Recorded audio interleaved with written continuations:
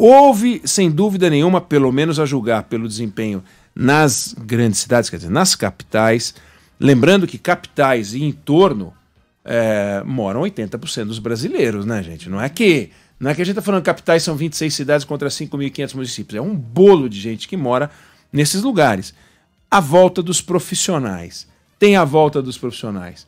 É, cadê a aventura da chamada nova política, que não quer dizer nada, é uma enganação? Já enterraram o governador do, de, de Santa Catarina, já enterraram o governador uh, do, do Rio de Janeiro. Então a gente tem uma volta aí sim da política como ela deve ser feita. Política bem feitinha, o Jair Bolsonaro chegou em Brasília com esse discurso esfarrapado, levou uma facada adicional, tinha levado uma na campanha muito grave, levou uma outra política, ao dar as costas para o Congresso Nacional e falar: Ih, eu não posso ficar assim.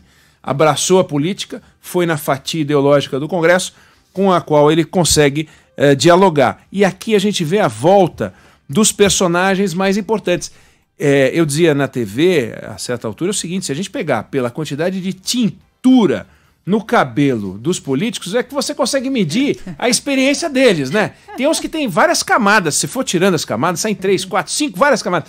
E tem ali candidatos com várias cinturas, né? é, não tem jeito. Caras que somam, é muita experiência, entendeu?